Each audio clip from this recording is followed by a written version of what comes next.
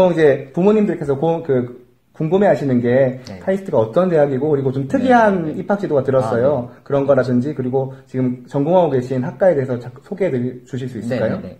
카이스트는 어, 모든 카이스트 재학생들은 무학과 선발이라는 과정을 통해서 선발이 되는데 어, 카이스트 학생은 뽑힐 때 학과를 정하지 않습니다. 먼저 1학년 과- 공통 과목을 이수를 한 다음에 2학년 때 자유롭게 자신의 전공을 선택하는 건데요. 보통 고등학교 학생들이 자기가 앞으로 평생 어떤 거를 해야 될지 잘 모르잖아요. 그 과정을 어, 대학교에서 좀 더 여유를 가지고 공부를 하면서 내가 어떤 걸 좋아하는지 고를 수 있다는 장점이 있는 것 같습니다. 정원이라는 개념이 없기 때문에 얼마든지 친구들의 성적이랑 관계없이 어, 얼마든지 자신이 원하는 학과로 진학을 할 수 있다는 게 제 생각에 가장 큰 장점인 것 같습니다.